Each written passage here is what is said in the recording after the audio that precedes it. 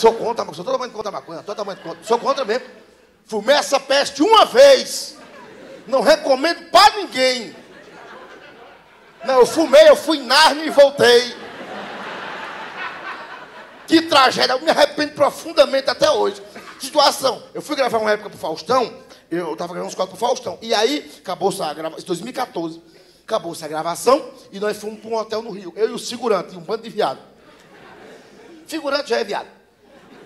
Então nós tudo lá, e os viados são alegres pra caralho, mano. Porra, eu adoro a viadagem. Eu gosto, eles são muito felizes, eu não vejo viado triste.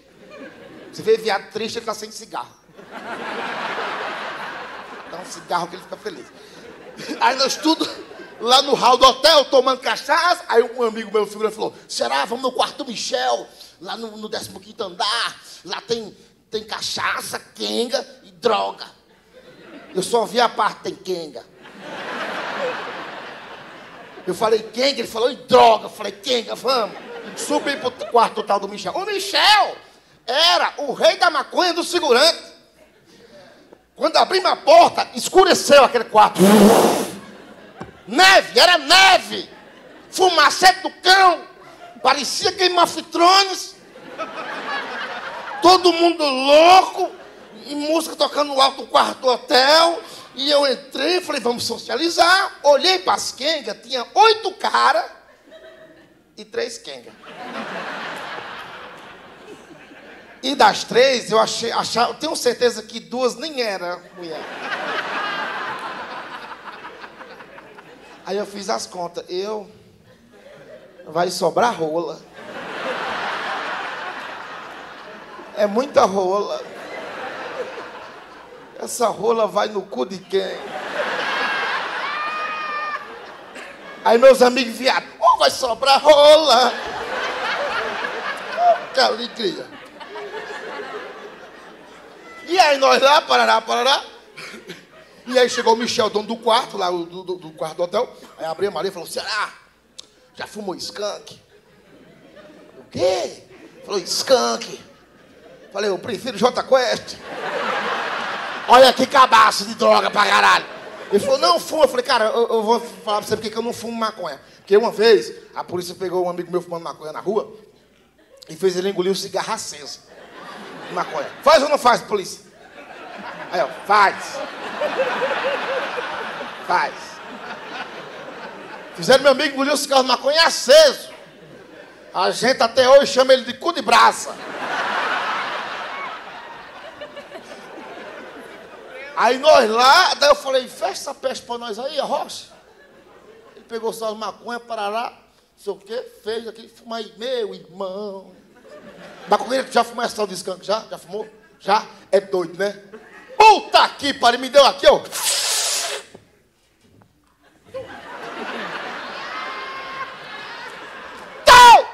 Minha Nossa Senhora!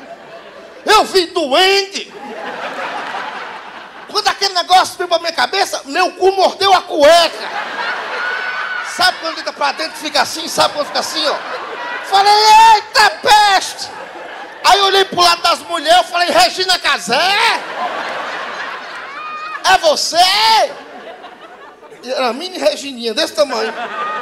Ela falou, não, eu sou dublê da Regina Casé. Falei, nossa, é feio igual. E aí comecei a ficar doido, e aí já abriram as cato glacial quente. Não, se é para ficar doido, vamos ficar doido. E dar glacial quente, e aí ser mais um cigarro de rachixe. Mais um, que é, é pouco, é, tava pouco. Aí o cabo veio e falou, mais um será? Eu falei, cara, não sei se eu já te falei. Eu não fumo droga. Que uma vez a polícia pegou um amigo meu, fez ele engolir o cigarro de maconha aceso e o cinzeiro junto. A gente chama ele de cu de forma agora, porque sabe. Não, fuma aí. Eu falei, me dê! Já estamos doidos que se foda. Ah! Uh! Quando dei a segunda tragada, eu me vi morando na rua. Eu me vi assim, na chuva com a latinha de crack, eu me vi. Eu passei o cigarro, a Regina Casé já estava em cima de mim.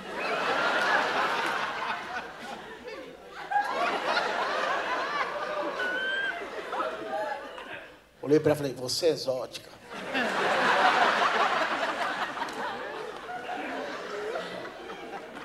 Olhei pro canto e falei, meu Deus, olha quem tá ali. Ela falou que eu falei, Lima Duarte? falei, você é o Lima Duarte? Ele falou, não, eu sou Cabomé. falei, mas é a cara do Lima Duarte? Sou seu fã, Lima. E aqui, muito doido, acabou a cerveja, todo mundo doido, amigo de todo mundo. Acabou a cerveja, Regina falou, vamos no posto buscar cerveja. Eu falei, vamos buscar cerveja no posto, o hotel é caro pra caralho. Desceu eu e a Regina no elevador, saímos na frente, no posto. Eu sou tão sortudo que chegando no posto, tinha um segurança e dois policiais. No posto! Quando eu vi os polícias, falei, Regina, é agora. Ela falou o quê? Eu falei, olha, vai fazendo nós engolir o cigarro. Aceso. E aí fomos chegando, fomos chegando, e o, e o policial viu que nós estávamos muito doidos. Que ela estava no meu ombro. Nós estávamos assim, ó. Dentro do posto de gasolina, pegando cerveja dentro do posto.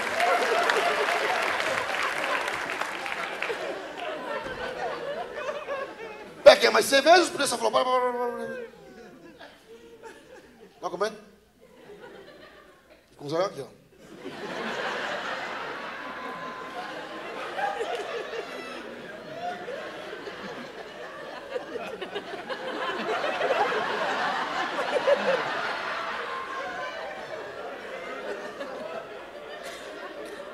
Na parede.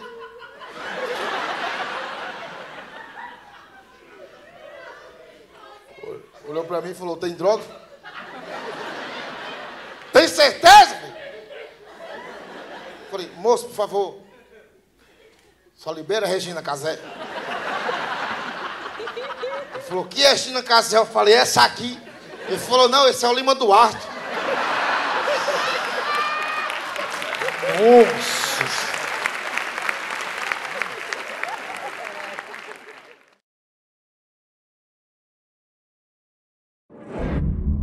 Semana passada eu me revoltei lá em casa. Revoltadíssimo. Eu tava puto, cara. Puto. Quem aqui é pai de menina? Levante a mão. Pai de menina.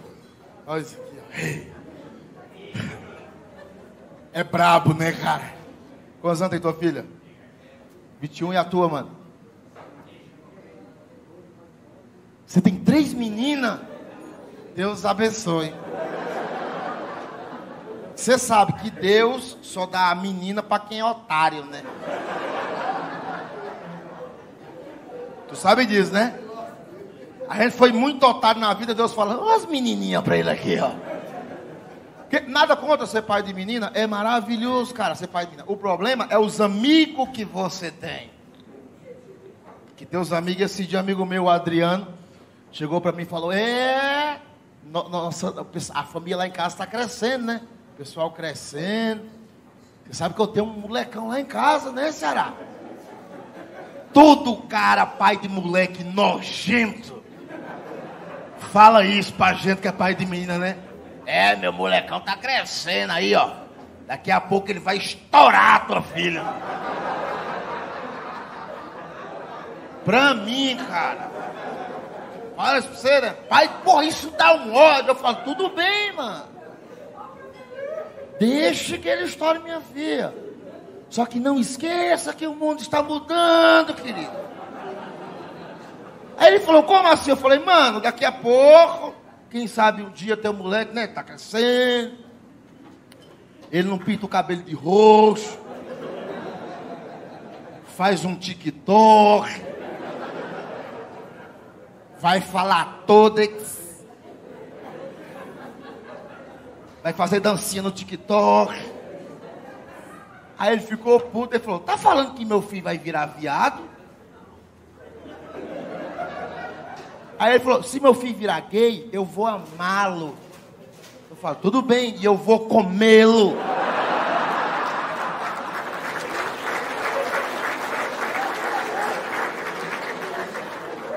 Eu vou comê-lo e vou filmar pra você ver. Olha aqui o filho da puta aqui, ó.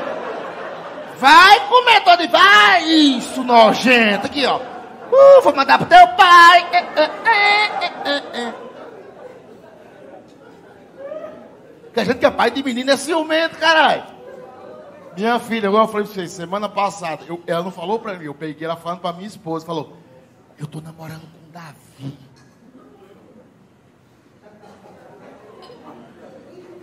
Davi, marca esse nome. Davi, filha da puta.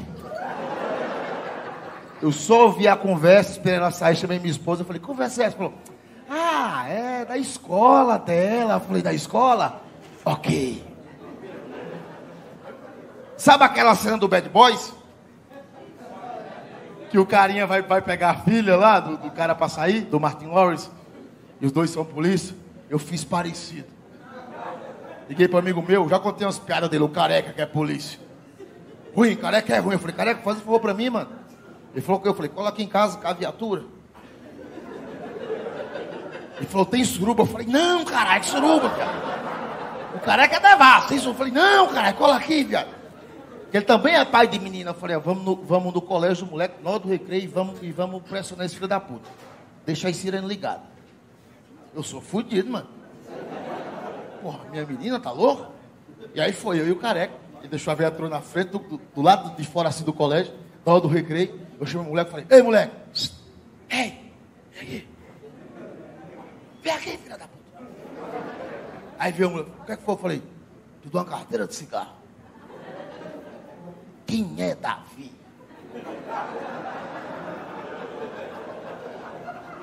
Ele falou, tio, eu não fumo. Eu falei, isso é viado.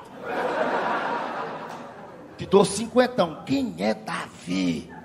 Aí cinquenta ele falou, Davi, aquele lourinho do canto aí. Deixa pra mim. Entrei no portão da escola, entrei. Tava o Davi lá de boa. Véi, eu, eu, já fui com sangue nos olhos. Sabe sangue nos olhos? Você vai, puta, eu peguei esse moleque pela goela aqui. Porra, eu não sou forte, mas eu levantei. Sabe com a ira de pai? Eu falei, seu Davi! Aí ele, eu falei, cala a boca, não fala nada, seu bosta! Tem uma mulher aqui chamada Maria Laura, você vai ficar longe dela, seu nojento, seu puto. Eu vou comer o cu da sua avó. Você trabalha, seu bosta, você trabalha. Você tem um carro, você tem plano de saúde para ficar perto da minha filha, seu merda. Olha para mim, seu bosta. Eu, você não vai encostar esse pinto podre perto da minha filha. Sabe aquela bundinha que você olha? Eu passei tal como aquela. Johnson Johnson, filha da puta. Quando eu era criança, eu limpava o cu com saburro. Mas para minha filha eu quero dar o melhor. Você é um bosta. Você tem doença venérea, você tem. Como é que eu sei? Um doente conhece o outro, seu filha da puta.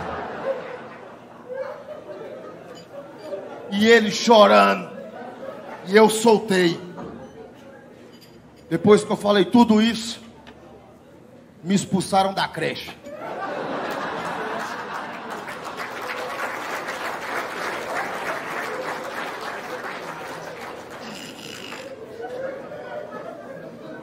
E minha ex, depois disso, pediu para rever a pensão.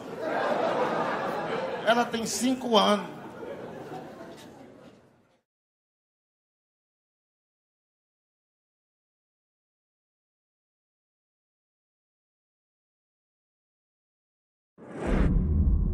Cara, pô, eu tomei puto com as coisas, bicho. Tomei chateado com as coisas. Tô ficando. Eu falei pra vocês, tô ficando velho. E tô arrumando briga.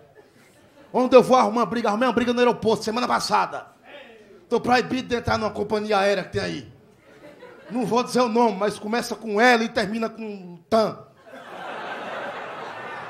Veja se eu não posso arrumar uma briga. Eu tinha morrido de medo de viajar de avião. No meu show antigo eu falava isso. Morria de medo. Aí eu tava em São Paulo, vindo para Curitiba. O avião alinhou na pista, uma chuva do caralho. E eu rezando, rezei tudo minhas 48 orações, e o negócio chovendo e regalapelejando, chovendo e regalapelejando, chovendo e regalapelejando. E eu sentado, me cagado aqui, ó. E o avião na pista, ninguém subia, ninguém descia. E uma véia do meu lado. Aí eu falei, ê, véia, o negócio tá feio, tá chovendo, né? E a véia falou, e regalapelejando. Falei, ainda bem que ele não subiu. Aí piloto, juro, eu não vou inventar uma vírgula, tudo aconteceu. Aí o piloto vem assim: Senhoras e senhores passageiros, não decolamos ainda, porque o radar em Curitiba está com defeito e por segurança não vamos decolar. Eu falei, pô, o cara, cara consciente, não vai decolar, o radar tá com defeito. Eu falei, o radar com defeito, né, velho? Ela falou, é com defeito. E ele não vai subir. Ela falou, graças a Deus. Então fiquei tranquilo, relaxemos. Aí demorou uns 10 minutos, juro pra vocês, ao piloto. Senhoras e senhores passageiros, estamos há muito tempo parados aqui na pista e o radar continua com defeito em Curitiba. Mesmo assim eu vou subir. Aí eu disse, velha, ele vai subir. Aí a véia, ele disse que vai subir. Eu falei, sem radares? A véia falou, sim, sem radares. E subiu. Quando ele foi, juro pra você, quando ele foi subindo, eu falei, é, suba não, fala da puta. Não tem radares. O que é que ele fez? Subiu.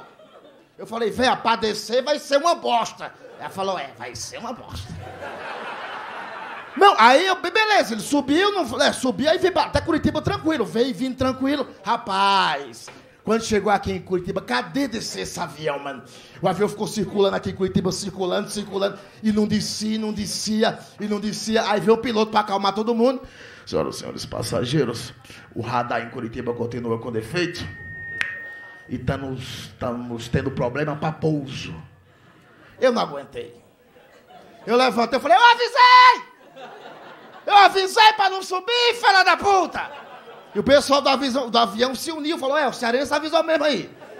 Ele avisou, você subiu porque quis. Aí a véia, é, subiu porque quis, ele avisou.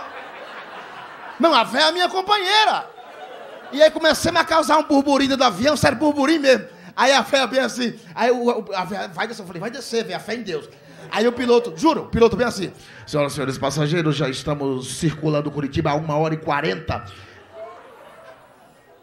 Eu estou aqui para acabar o combustível da aeronave. Para a gente pousar com segurança.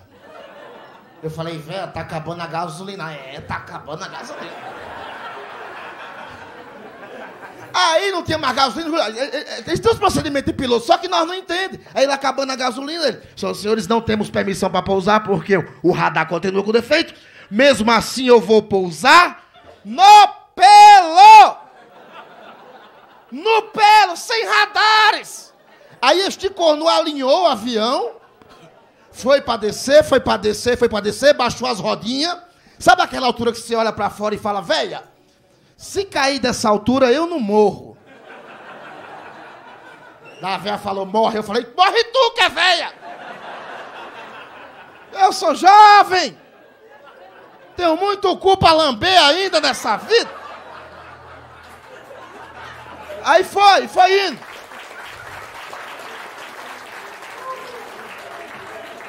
Juro pra vocês, quando o avião foi triscar no chão, mano, aconteceu a pior coisa da minha vida, ele remeteu, velho. Ele veio aqui. E nós. Ah! Mano, meu cu parou na garganta, velho. Falei, como é que este corno arremeteu? Sem radares! Aí eu não aguentei, viu? Eu levantei da cadeira e falei, quer saber, já que eu vou morrer, que se foda!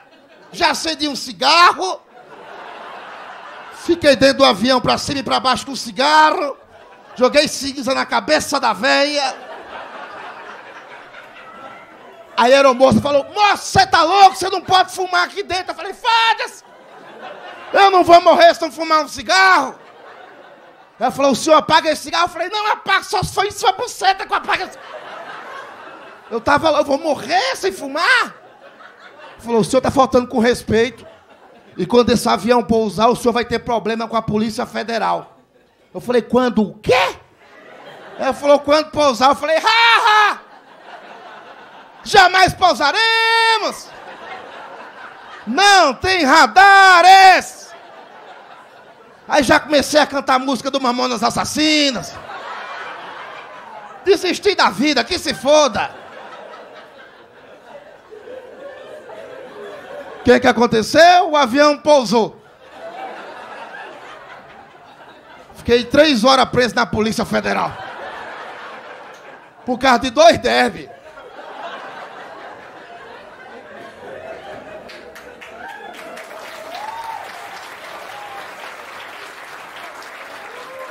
Ah. Eu descobri, cara, que eu sou um ser humano sem limites. Hoje em dia, vocês já perceberam, todo mundo hoje em dia é gourmet. O povo é gourmet, é fitness. Todo mundo é barbeiro, todo mundo faz hambúrguer, todo mundo quer fazer cerveja hoje em dia. E a cerveja artesanal, tá na moda. Eu tô mandando o povo tomar no cu, na cara do quer que se foda. Sabe? Amigo de 10 anos de amizade, eu mano, vai se fuder, mano mesmo. Se chega um amigo meu e fala, ah, é porque o hambúrguer do McDonald's é feito de minhoca. Eu falei, vai se fuder. Mano, existe mais McDonald's do que minhoca no mundo, velho. McDonald's planta e colhe minhocas. Não me irrita, nada contra quem gosta de suas cervejas artesanais, nada contra quem gosta. Eu só não gosto de gente que vem debater comigo sobre um assunto que não entende. Eu chamei um amigo meu, a gente tem 15 anos de amizade, eu tive que mandar ele se fuder. 15 anos que a gente é amigo, desde a quinta série a gente é amigo. E a gente tava conversando, não sei o quê. Aí eu falei, cara, vamos no Bar da Brama tomar um chopp em Brama, encher o cu de chopp Brama lá. Ele falou, não, não, não, não, tá, tem um lugar melhor que o chopp Brama. O chopp Brama é ruim, o chopp Brama é amargo. Tem amigo meu que tá fazendo chopp, o Patrick, e, e, e, e, é bom pra caralho, é melhor que o da Brama.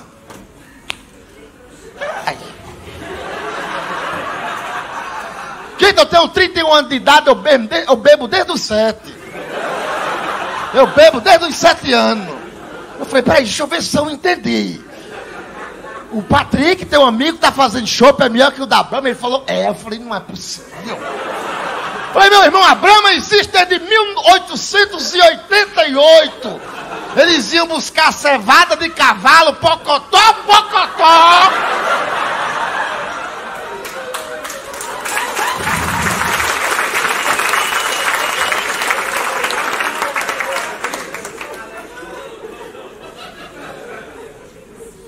A, Brahma é a cerveja mais, a segunda cerveja mais vendida do país. Eu fui pesquisar isso. É, tá, é, a Brahma é a nona cerveja mais, mais vendida do mundo. Está presente em mais de 30 países. E pra você não tá bom. É um shopping bom, é o do, é o do Patrick, né, caralho? Falei em primeiro lugar, Patrick não tem nome de quem faz chopp, pelo amor de Deus. Ele falou, ai, mas fez duas semanas no Senai de curso. Eu falei, pois então. A Brahma tá há mil anos fazendo shopping aí, mas o Patrick fez duas aulas no Senai. Tá cozinhando na, a, o fermento na panela de pressão, na garagem dele, em cima de uma pala. Esse chopp é bom. Patrick não tem nome de quem. Patrick não é nome de quem faz chopp, não é nome de quem come cu, Patrick. Patrick é nome do cara que ele toma caipirinha de saque com morango. Hum. Se o nome do cara é Arnaldo, eu falei, esse cara faz chopp, Arnaldo. Agora Patrick vai se fuder. Aí ele olhou pra mim e falou, é, mas o chopp da Brama é 12 real, do Patrick é 2,50. Falei, vamos no Patrick então.